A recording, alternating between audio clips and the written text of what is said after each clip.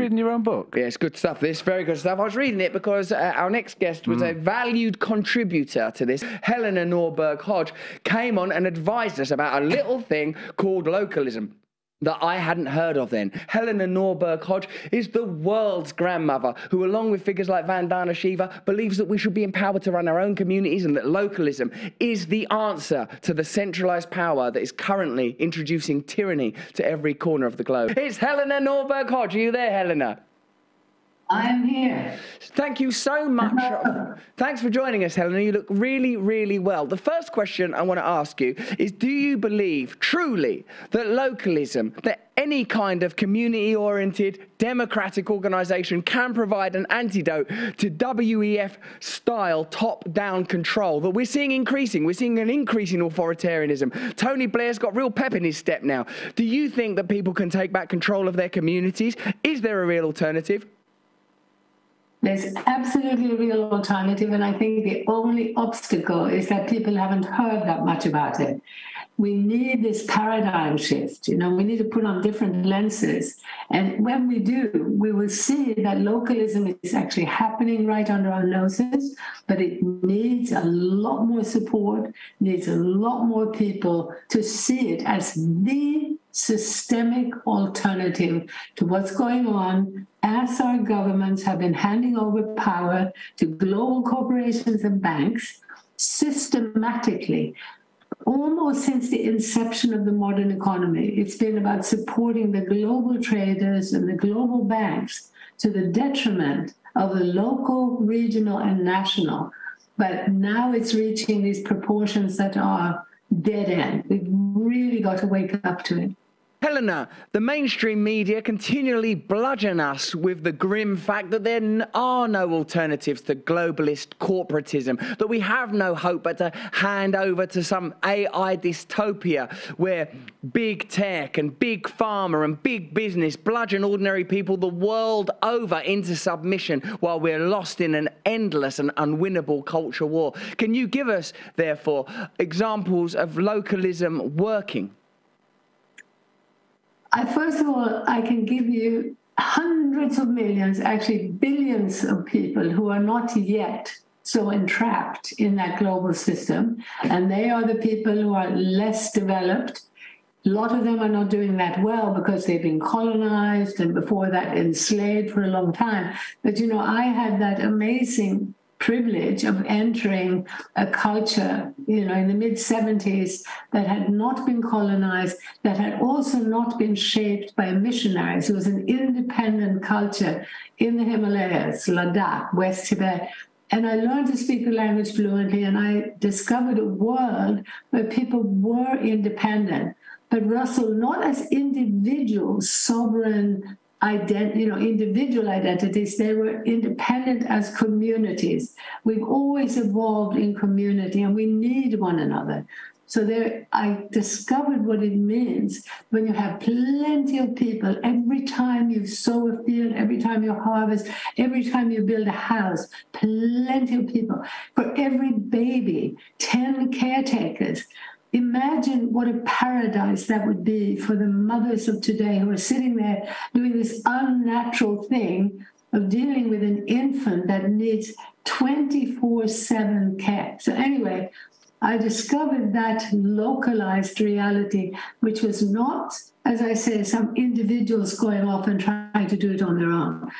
I met the happiest, healthiest people I've ever encountered. Later on, I worked in Bhutan, found very similar thing. And by the way, it's Schumacher's 50th anniversary of his book, Small is Beautiful. And he was a highly respected conventional economist who ended up in Burma in the 60s. And he ended up having to change his whole view on economics because he also found in Burma there was no unemployment, there was no poverty. Now, all of these cultures I'm talking about were Buddhist. And this may have something to do with that they were exceptionally well balanced cultures. But anyway, the realities in small ways all around the less developed world, not in the West, is there. Inside the Western world, what you will see if you put on these localist lenses or what, you know, yeah, what we call also micro trends, Everywhere in the West, you will find, if you go close to the ground, you'll find examples of local people coming together to create local food system, to create local community-based um, hospice centers, to create locally based midwife and natural birth centers, to create healthy medicine centers. And you will see in every instance that it works better. It's more efficient. People are able to see the specifics of the individuals they deal with, the ecosystem they're living in. It's about adapting to the reality of diversity. So localism is a must. What's happening as we're being taken away step by step further from nature, from our bodies, from the soil into the metaverse. And unfortunately, a lot of people believe that this is going to be better than what we have in real life. And it's because real life has been made to be so shitty that people now believe the metaverse may be an improvement. Right, we've been so stripped of hope, so desiccated of the the wet joy of being human and being part of nature that the idea of being strapped into some virtual machine, experiencing reality on some internal screen starts to seem appealing. Helena, of course, you're joining us for our three-day event community along with Vandana Shiva and Wim Hof and a whole host of others. Very, very excited that you'll be joining us there. There's a link in the description if you want to get tickets to see that. And believe me, they are going fast, so get them now. I'm very interested to hear that everywhere around us there are examples of localism, community, real democracy, people cooperating. And it's interesting to see how hard the centralized forces work at ensuring that these stories are not proliferated, that we're drained of the optimism, that we're denied the possibility of seeing that there are alternative systems. It's absolutely vital that these stories are told, even though sometimes by the nature of these stories, they feel local, parochial, small. this is not a glistening Apple store shining at you from the middle of Manhattan. This is not one of those ridiculous M&M stores that seem to be in every major city in the world. But it's becoming pretty clear now that the model of consumerism isn't working. Being cast in the role of a consumer, buying products, sugary products, dumb, dumb reflective screens to stare at in perpetuity, uh, these ideas aren't working anymore. What we need are meaning, connection, purpose. You can see there's a crisis in masculinity, a crisis in femininity, a crisis in community. And the answers are to return somehow to our nature. But with a new mentality, with the deployment of some of the principles that you're espousing. When you come to speak to us at community, will you talk us through things that we can do right now when it comes to protesting and when it comes to pre presenting viable, viable alternatives? In particular, Helena, with bridging the evident and growing gap between poor people and rich people. Oxfam have just done a, st- a, study on how inequality is growing. We know that there's a billionaire elite class now. You know, they're coming for the middle class now. Middle class people are going to be drained of their resources. This is going to affect everyone. We're not just talking about old school bleeding hearts liberalism. Oh, we've got to help people, help people that are worse off than ourselves. This is going to be a crisis that where there's only there's the elite class and then there's the rest of us scrabbling around in real life Hunger Games.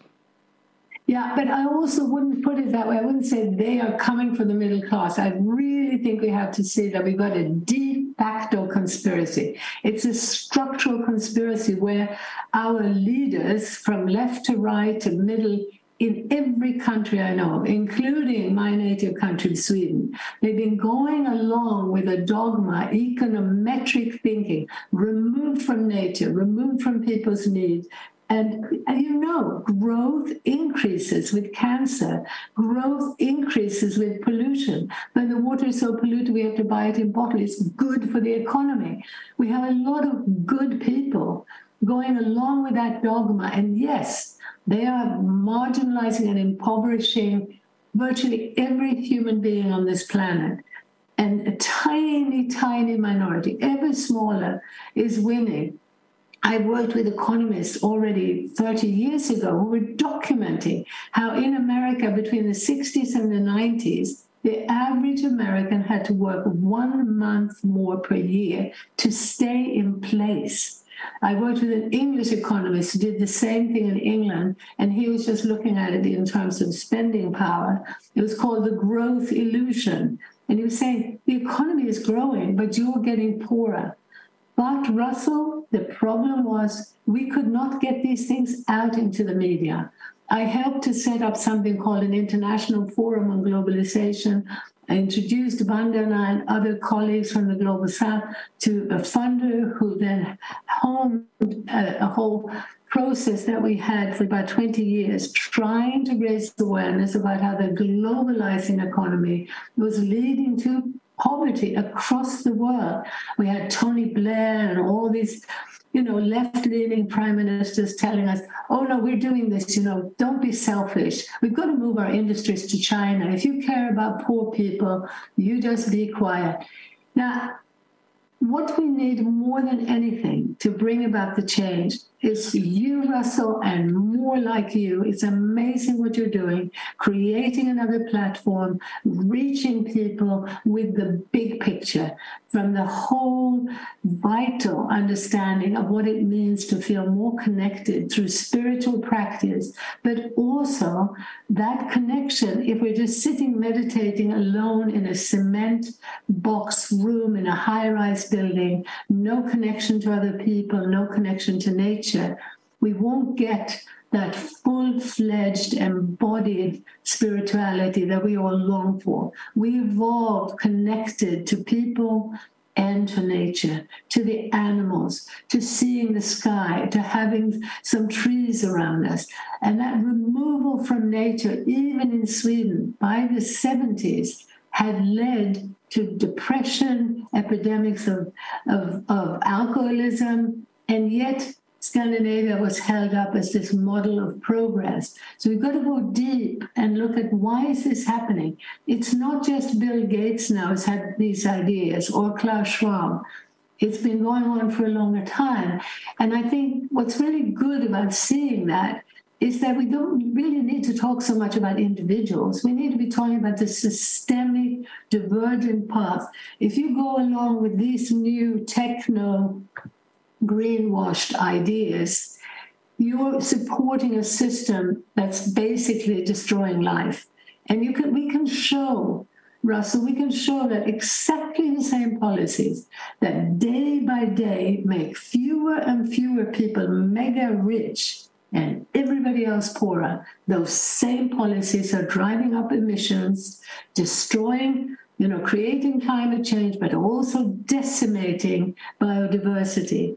They are linked. And the thing that's being done is everyone is being pushed into a specialized, narrow view and a narrow cause. So whether it's gender, whether it's rich, poor, whether it's handicapped or not handicapped, whether it's global south, global north, we're being divided and what localism does in a holistic way by understanding that it's a process that's diametrically opposed to the globalizing corporate path. It's about do we want corporations to run our lives and our communities, or do we want communities to run them? But that doesn't mean that we don't need the nation state right now.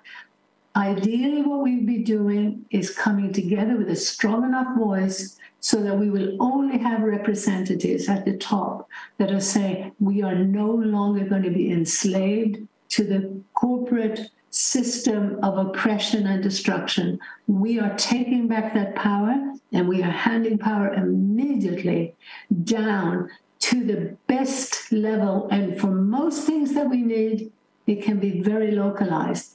But we need the protection of coming together in order to withstand the power of the corporations. Helena, thank you for praising that complex idea into such a succinct and rousing answer.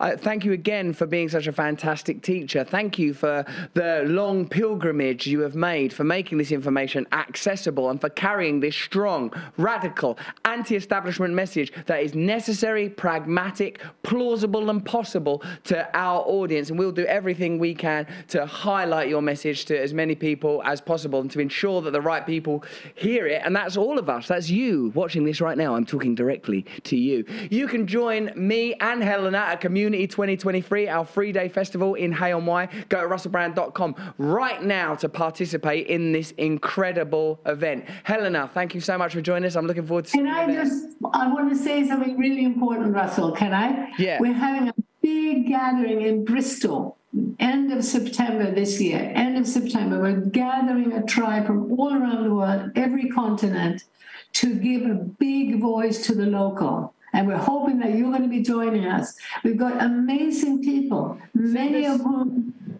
Give me the, if you say, Helena, I've got to wrap up the show, but send me a, a link to it. We'll post it everywhere. We'll pu- put it on all of the platforms where people watch us and stuff. We'll make sure that we, right. we'll, we'll, we'll uh, support your event in September. in please Bristol. support that. It's, it's unique. It's unique.